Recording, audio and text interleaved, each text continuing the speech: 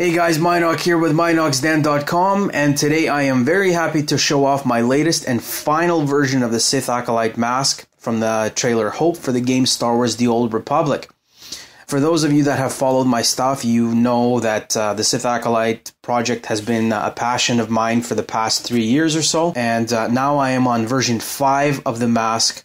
What's special about this mask? Well, about a year ago, I got into uh, CAD modeling and 3D printing, which opened up a whole new world for me with respect to prop making. So, this mask was completely done in uh, a CAD environment and was 3D printed and finally molded and cast in cold cast aluminum. But let's talk a little bit about the creation process. Once the mask was modeled and I was happy with everything and that all the edges were watertight, meaning that the mesh had no holes, no openings, no misalignments in it, I partitioned the mask and proceeded to 3D print it. After all the parts were 3D printed, I uh, used a process called acetone vapor smoothing to uh, smooth out the plastic to get rid of the 3D printing striation. Now, acetone vapor smoothing can be done at home, though some degree of caution has to be exercised when doing so. Uh, the method that I use is um, I take a pot, pour some acetone inside, and put this on the element. Acetone boils at 56 degrees Celsius, so it's not too terribly hot, but you do have to watch those fumes. So I do recommend having your fume hood on, having the fan on in the house if you have a central fan, um, and wearing a uh, respirator. As the acetone boils, it starts generating vapor. The vapor rises and ends up condensing onto the part. And basically, that vapor eats into the plastic and melts the plastic sufficiently for it to get rid of, I would say, about 90% of the striation. It's not a foolproof method, it's not 100% effective, so some, some smoothing is required afterwards. Uh, you know, some sanding or uh, using fillers like uh, Bondo spot putty or whatever but acetone vapor smoothing is very effective in order to get uh, most of the work done. Next, I've uh, taken the parts that uh, were acetone smoothed and I started putting them together. I use super glue to glue all the parts together and Bondo spot putty in order to fill in all the remaining striations and the seams where the parts are joined together.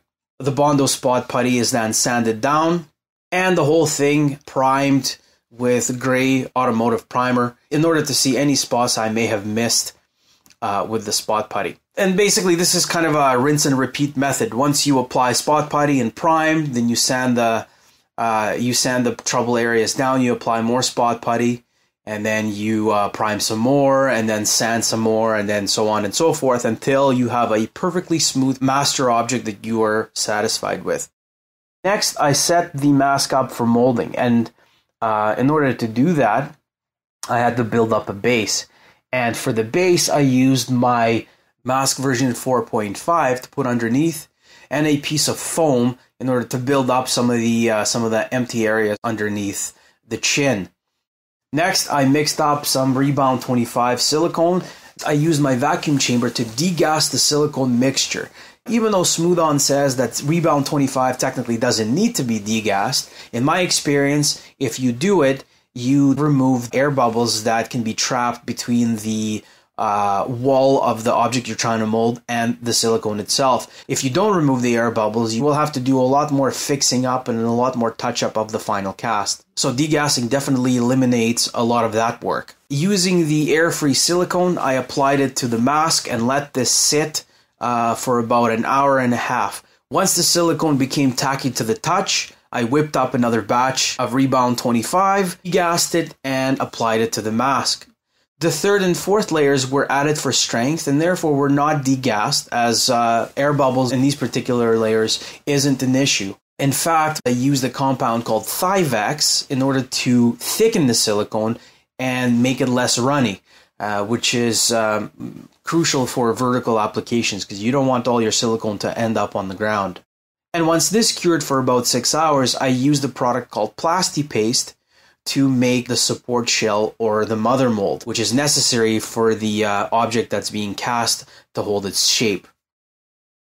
Once Plasti-Paste cured about an hour later, I demolded the mask, cleaned up some of the excess silicone flashing on the inside, and got ready for casting. I sprayed the inside of the mold with uh, Mann 200 uh, mold release, let this dry for about five minutes, and proceeded to whip up uh, some Smoothcast 65D, which is uh, what I use for all my masks and helmets.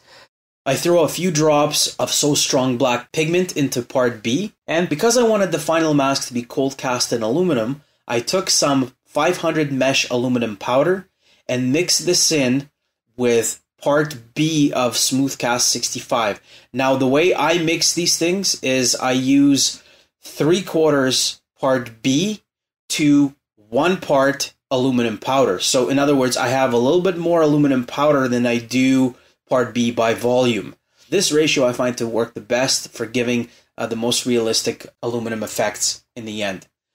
Once the part B and aluminum were mixed together, I then added part A, mixed it all together, and applied the first coat of the resin to the mold.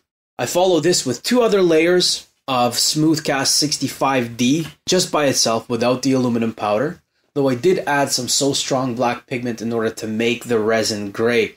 I really don't like the look of white resin in wearable props, so I uh, pigment everything with uh, the black So Strong pigment, which makes the resin come out gray.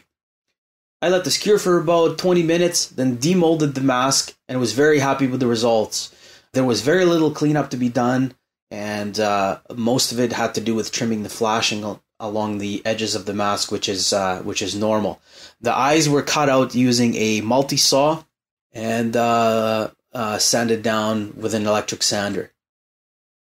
Next came painting. Usually, what I do is I uh, I paint the inner parts of the detailing, the darker parts of the mask, uh, by hand. But that usually gives me pretty uneven and pretty blotchy results. So this time I decided to do something different. I wanted to use an airbrush. However, I don't really have any airbrush paints at the moment that I could use for this, so I decided to cheat. So I use spray paint the same way that you would use uh, airbrush paints. So I would basically shake up the can, spray the paint into a cap, let it sit for about two, three minutes in order to get the, a lot of the propellant out. And then I would pour this inside an airbrush and uh, use that as airbrushing paint. Hey, you know what? Not the best way to do it, but it gives pretty damn good results, so I'm happy with it. I gave the mask several coats of black, followed it up with a, a, touch of red, just to give it a bit of a red hue to match the reference material, and let this dry for a few minutes in front of a heater. I then used sandpaper to go over the, the raised detailing to get the paint off. And, uh, you know, starting off with 120 grit paper, I then progressed to 400 grit paper, 800, 1000, 2000, and then follow this up with steel wool in order to get a nice shiny look. I then misted the mask with some black in order to give it a more weathered look, which uh, pretty much completed the outer surface. Now it was time to add the eyes, padding, and strap to complete the mask. Now, by far the best fabric that I found for the blackout eye mesh is a simple grass catcher bag for uh, your lawnmower that can be purchased at many different hardware stores. So I cut out some strip of this and superglued them inside the mask. I then used my foam cutter to cut up a few rectangles of one inch uh, open celled foam for the padding and uh, added the elastic strap. Now, people come up with all sorts of interesting and creative ways to attach straps to masks. By far, the easiest and simplest way to do this is rough up the contact area inside the mask where the strap is going to be attached with sandpaper. Take the strap and super glue it down. Then use a strip of industrial Velcro, the fuzzy part, and then simply glue a large piece over the strap as though you're securing it down. Industrial Velcro is extremely sticky and very hard to peel off.